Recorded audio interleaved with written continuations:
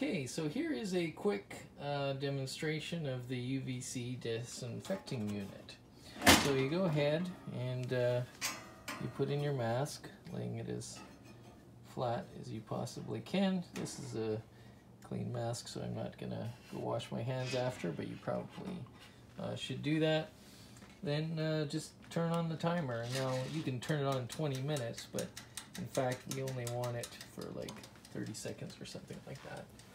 Uh, I, I've tested this thing in about 30 seconds um, with a paper test strip. You do get it to go green, which is a measure of uh, disinfection, but yeah, probably wouldn't hurt to do a minute or two or something like that. So you can go ahead and just time it, and of course, don't open the door uh, while it's on. Um, but yeah, once the uh, you've you've gone at least 30 seconds, or you can just set the timer and have it uh, ding for you automatically when you're done, then it uh, then that's probably a good way to use it. And you can see there's two bulbs uh, in the top and two bulbs uh, in the bottom. Each one of those is an 18 uh, watt bulb.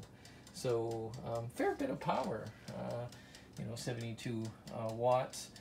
So yeah, I guess you could, you know, set it longer if you really want, but uh, yeah, I don't think it'd take very much time to actually give you the amount of um, UV exposure that you need to um, clean the mask. So there you go, all done. Open it up, take it off. Now you could probably flip uh, sides and do it again too if you really wanted to, because there's some shadowing of the um, the rack that it's on. But yeah, pretty good.